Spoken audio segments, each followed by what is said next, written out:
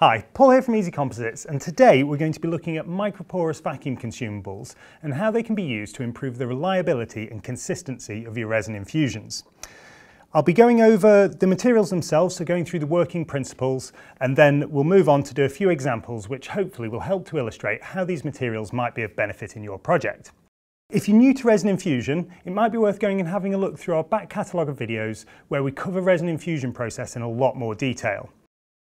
So what are these materials and how do they work? Well, you can think of them in much the same way as the brand Gore-Tex, the waterproof outdoor clothing. And what we have is a microporous membrane that will allow air to pass through it, but once saturated with resin will almost completely seal off.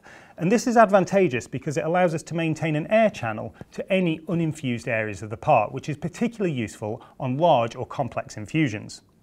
Let's have a look at some of these microporous materials from our range. Here we have the MTI hose. Now this is a product that many of you might already be familiar with. It's the industry leading microporous vacuum line from the manufacturer DD Compound. This has a very, very high performance microporous membrane on the outside. This is backed up with a breather layer which maintains a good vacuum to the surface and then we have a spiral down the core which maintains the air channel. Now this is a very very reliable product, it's very easy to use, it's very flexible and pliable. The next one we have here is the MVL. Now you can think of this as just a low cost alternative to the MTI and in many ways it will perform exactly the same function.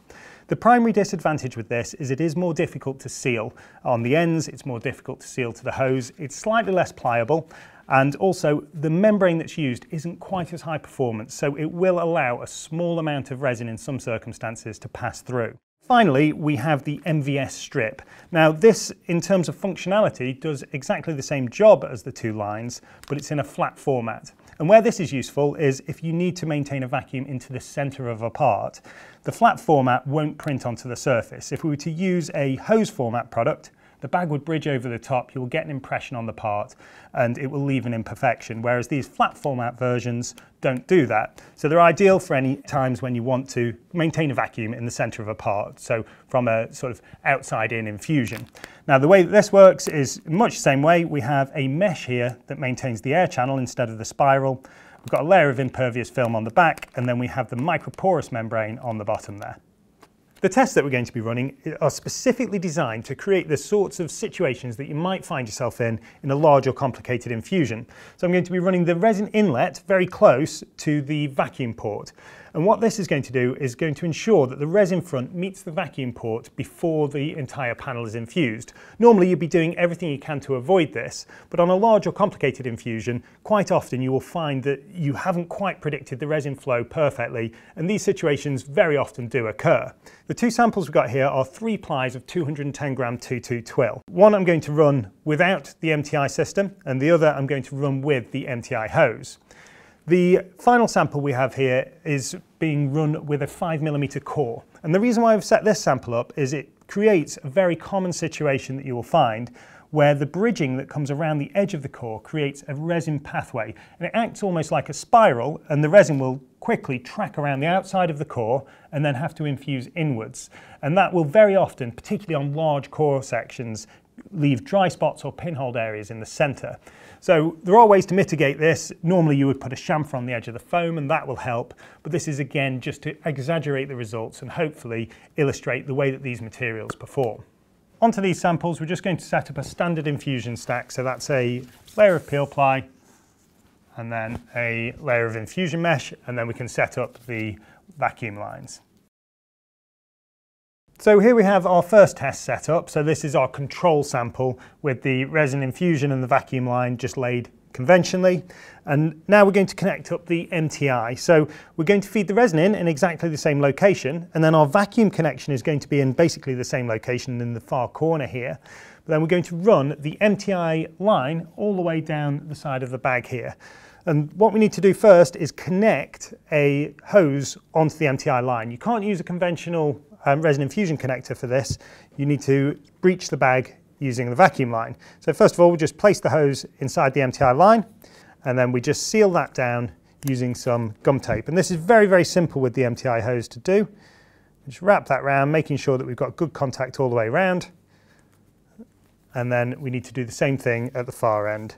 So again, just taking some of the sealant tape, flattening out the hose, placing it over the top there and then folding the sealant tape carefully around, ensuring that we get a good contact and seal. And after that, to stop this from sticking to everything else, you can put the backing tape back on. With the vacuum line sealed onto the hose, we now need to breach the bag. So again, it just uses some of the vacuum bagging sealant tape. And you just do a simple wrap around the outside of your vacuum hose. And then that can be placed onto the seal of the part. And that breaches the vacuum through into the bag. The setup we have here for the MVS strip is slightly different. The first thing we have is uh, we're running a spiral around the perimeter on this setup. Uh, this is quite a conventional way that you would set up an infusion and remember we've got that core inside and what we should see is some tracking around the outside. So to seal the MVS strip and connect the MVS strip to the vacuum it's slightly different from the MTI. We can place a resin infusion connector on the inside here and then we need to seal this using some sealant tape. So we just need to place that on the inside of the strip there, run it across like so, remove the backing, seal the foil down onto it. And then after doing one side, just take another strip of sealant tape and then place it across the back there That does a very good job of sealing it. And then finally, a belts and braces approach is to use some duct tape placed over the top of that.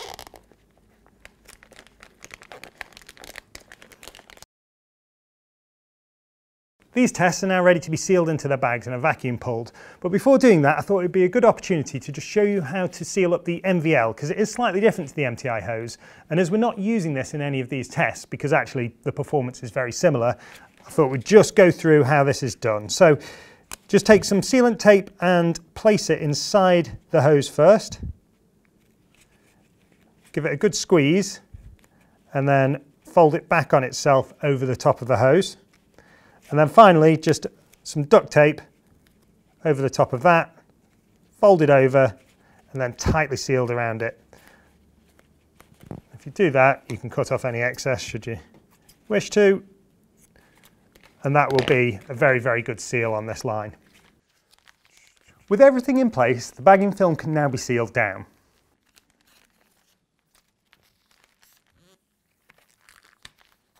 The bag's now sealed, so now we just need to connect up the resin feed lines and the vacuum lines. The feed lines um, and vacuum lines on most of these are just done in a conventional way, and in fact, actually, on the MVS strip, it still is. We're just piercing through two layers down onto the inside, then inserting the PVC hose into it and sealing it up with sealant tape.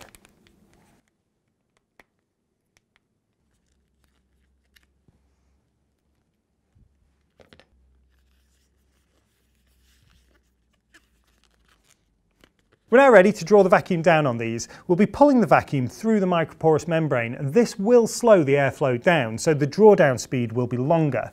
On something small and flat like this, it really doesn't make much difference, but on a large moulding where there's a greater volume of air in the bag, it's a good idea to draw the bags down first on the resin feed line and then switch over to the microporous line.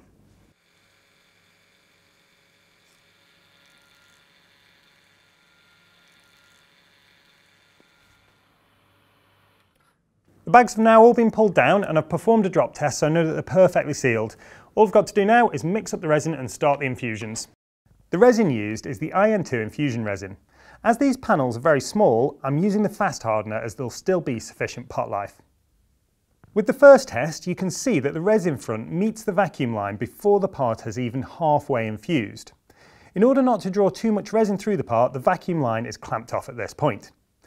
Now because the rest of the part is almost at full vacuum, it will continue to infuse for a surprisingly long way, only stopping at the very last point where the air pressure in front of the infusion reaches equilibrium with the resin pressure. If you did have an absolutely perfect vacuum and no air or off-gassing coming from the resin, theoretically the part would fully infuse. However, this is only good in theory and in practice an incomplete infusion is almost unavoidable. There is a trick to fixing situations like this that have unintentionally been keeping a secret, so look out for this in a future video. With the second trial, you can see that with the MTI hose this problem is eliminated entirely, as the vacuum is maintained into the dry area until the part is fully infused. Now, this is clearly a very basic setup to make the function of these microporous vacuum lines clear to understand. But in service, the MTI would typically be run around large sections of the perimeter on complicated infusions. The final setup with the core and MVS strip will show the typical resin tracking problem. You'll notice that the resin loops entirely around the core, meaning that without the MVS strip, a portion of the centre would be left isolated from the vacuum. On a small part like this, you would probably get away with it, but certainly on larger cores, you would expect dry areas or pinholes caused by this effect. Resin tracking like this can also occur on complex geometries and laminates that have a large variation in thickness. All three tests have now fully infused, so our first standard infusion setup, we've clamped off the vacuum line. And the reason we needed to do that is we were already drawing resin off, and if we just left this open, we'd be draining off an excess amount of resin into the catch pot. With the MTI and the MVS, we're still connected to the vacuum, so at the moment these lines are still at vacuum, but you'll notice that we're drawing off no excess resin. Now a common misconception with this is that it will allow you to overcome a leak in the bag. Unfortunately, that's simply not the case. That's because once these materials are surrounded with resin, they become almost completely impervious to air. And so maintaining a vacuum really serves no purpose, and it certainly couldn't overcome a leak. So it's still absolutely essential that you make sure that the bags are fully sealed before starting an infusion.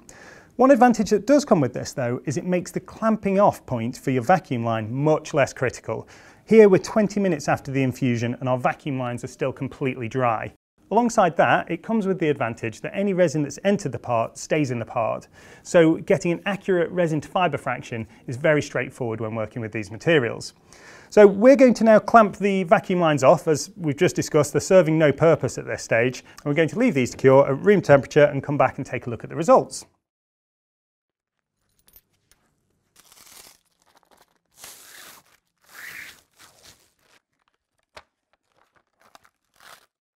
Looking at the results, the first control example that we've got here has got a large dry area in the corner. Now we could see that in the infusion that it never fully infused. So what we're left with is the stack of materials just simply dry. But what wasn't apparent on the back of the infusion is these other dry pinholed areas. Now these are caused by air getting mixed in with the resin during the infusion because as the infusion was taking place the vacuum pressure was sort of dropping off and so we are left with lots of void pinhole areas over a large proportion of this part so clearly this is severely compromised. With the second example, which was essentially the same infusion, just with the MTI, you should straight away be able to see that we've got a completely void-free surface. So there's no pinholes in this at all. And that's because the MTI hose was maintaining a vacuum right until the end of the infusion. So you can clearly see a dramatic difference between these two cases. In the case of the third test, done with the core material and the MVS strip, first thing you'll notice is the print around the edge of the core. Now that's nothing to do with the vacuum level, that will happen whenever you've got a large bridge section in your carbon. But apart from that, you will notice that the part is again entirely pinhole free. So the MVS strip has done its job. If we hadn't have used the MVS strip, we'd likely get some small pinholes just in the area where the resin front had closed in.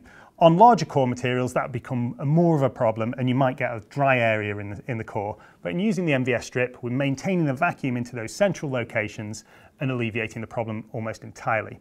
So let's try to draw some conclusions. When and where would I suggest using these materials? Well, they can be particularly useful if you're new to resin infusion because often without experience it's quite difficult to predict the flow front of resin. And so being able to put the vacuum into lots of areas of your moulding can massively increase your chances of success. You'll notice that in a lot of our infusion videos, we haven't used these materials.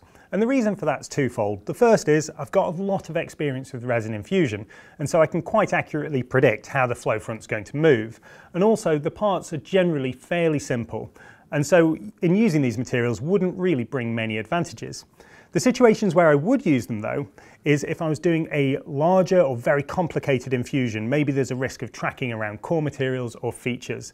And in these situations, the added reliability and security that microporous materials can bring would more than offset their cost by increasing the chances of getting a successful infusion. I really hope you found the information in this video useful. If you are interested in including these materials in your production process, head over to the Easy Composites website where we have these materials available to purchase alongside a wide range of composites tools, equipment and materials. As ever, a huge thank you to all of our customers whose support makes producing these videos possible, and we'll see you next time.